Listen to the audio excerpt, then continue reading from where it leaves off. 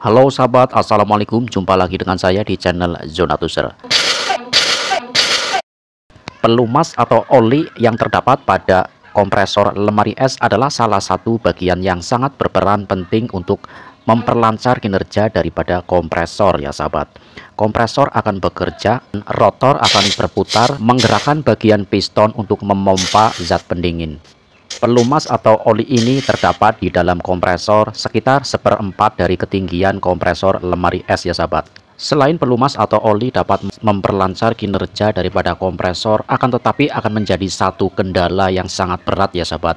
Ketika oli atau pelumas ini akan naik ke atas evaporator ya sahabat. Oli yang naik ke atas evaporator akan di, disebabkan dari beberapa hal ya sahabat. Di antaranya adalah ketika kompresor ini menyala dalam keadaan terhentak ya sahabat. Biasanya terjadi ketika setelah mati lampu.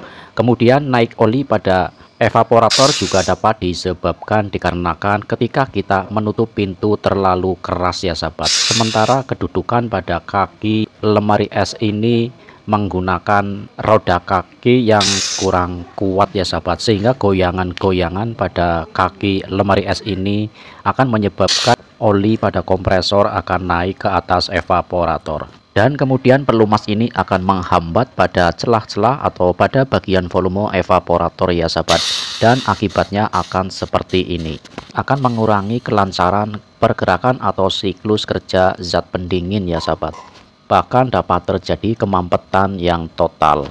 Maka untuk menghindari ini semua ketika mati lampu sebaiknya untuk stop kontak dicabut ya sahabat atau di off kan pada termostatnya Kemudian ketika menutup dan membuka pintu harus dengan pelan ya sahabat. Jangan terlalu keras sehingga menimbulkan goyangan-goyangan pada kompresor. Dan ketika kompresor tersebut sedang berputar olinya itu akan muncrat naik ke atas ya sahabat.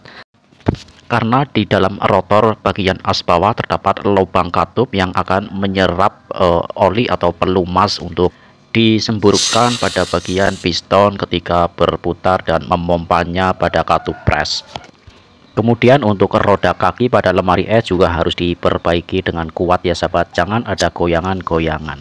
Kemudian yang terakhir, jangan menaruh air yang panas ke dalam lemari es ya sahabat. Karena itu juga akan mengganggu dan akan terlalu mempercepat pergerakan zat pendingin atau freon ya sahabat. Sehingga oli pun akan mudah cepat terdorong dan akan menjadikan satu masalah pada evaporator ya sahabat.